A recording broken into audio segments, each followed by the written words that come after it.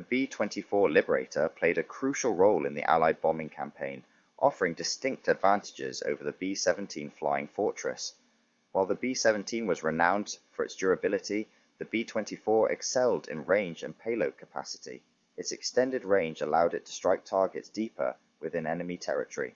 For example, B-24s conducted long-range bombing raids against the Ploiești oil refineries in Romania, a vital source of fuel for the German war machine, which were beyond the reach of the B-17.